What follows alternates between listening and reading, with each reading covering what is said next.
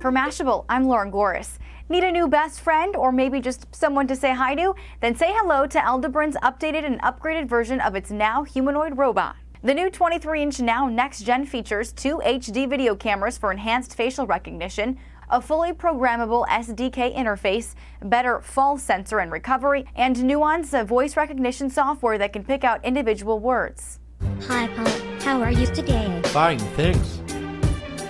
Are you ready to do some work this morning? Sure. But this real-life WALL-E isn't just a personal assistant. Aldebaran's chairman says, with NAO Next Gen coming of age, we shall be able to make it serve organizations that care for autistic children and those losing their autonomy. The company reports some 2,000 NAO robots have already been sold and are currently being used in hundreds of labs. And for some fun at the RoboSport soccer tournaments. The price tag is still a question mark, but CNET notes other bots have sold for nearly $15,000, so it might not be the easiest toy to cross off the list. For Mashable, I'm Lauren Goris.